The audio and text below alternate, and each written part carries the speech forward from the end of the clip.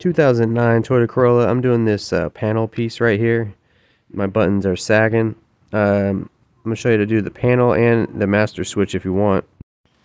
Alright, so to do this, you want to get a plastic pry bar if you can. We're going to come over here and get this in between here and just kind of gently try to wiggle and push this panel up right here. This little armrest panel. Uh, it'll lift up like that. And then once you have it up, you want to pull it straight backwards um, and pull it out then there's a hook right here. That's why you want to pull it straight backwards because if you just yank it upwards, it'll break that hook and then you, it'll be loose forever. Um, so basically what's going on is the reason why the buttons are sagging is this part's broke off the panel. So every time you push on it, it sags down. Um, we're going to get this connector off. This is the, the, infamous connector that everyone hates. And uh, what you do is you push this button here and then you uh, you're gonna slide that sleeve back first. So you push that button down and then this like plastic sleeve on the outside, you pull it back.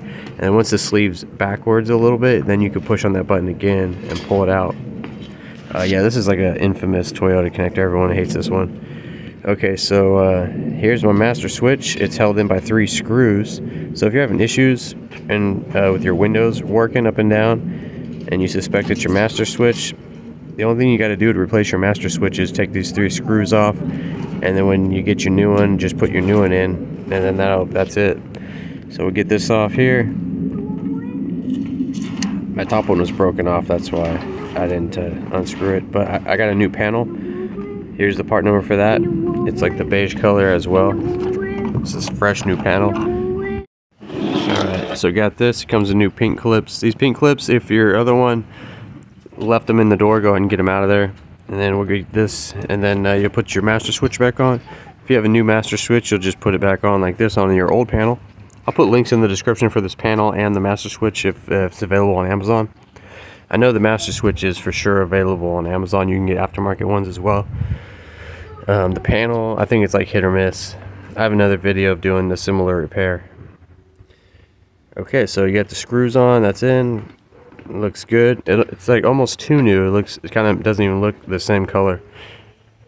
Alright, so when you put this connector in, you push in the part first without the sleeve. Try to hold the sleeve on the outside back as far as you can while you push the con connector in. Like you kind of hold it up. It's kind of hard. And then um, you push that in. And then once it's in as far as it can go, then you'll slide the sleeve on the part down and it'll lock it in place. Um, be patient with this. Don't rage slam it or pull it or shove it in because it'll it'll mess it up. Everyone hates that connector. You just gotta be patient with it until you figure it out. Uh, we'll we'll dip the front nose of this in first and get that hook part in like that, and then we will just gently line everything up and then just kind of push it in. Should kind of fall into place. All right, guys. So that's about it. Hope this video helped you out. Test it out. Thanks for watching, and I'll see you next video. Guys, I want to tell you about this new soap I've been using by a new company called Quantum Soap. It's a men's soap company. They make multiple different bars of soap with their own ingredients and fragrance. They even have a dark matter bar, which is more grittier. If you're a mechanic, you have a lot of dirt and oil in your skin a lot. You can reach them at quantumsoapco.com. Free shipping on orders over $50. These soaps are made in the US with all natural ingredients by hand. No synthetic this, synthetic that. Um, they've been great. They've hooked us up with a Gearmo Auto promo code. So if you head over to the website, type in Gearmo Auto in the checkout, you'll get 10% off. Again, uh, these guys are on Facebook, Instagram. Check them out. Check the links below. Thanks for watching.